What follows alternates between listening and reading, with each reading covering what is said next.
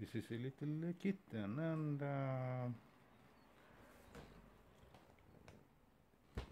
she is she is uh, 20 years old this year and it's not exactly known when she is born but she's she's a rescue cat and um,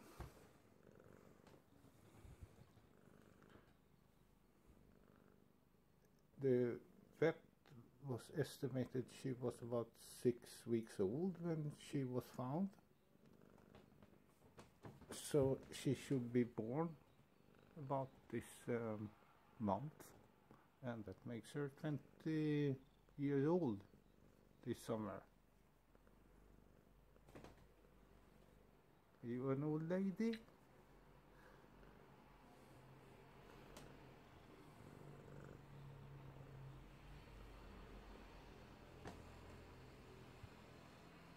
yeah.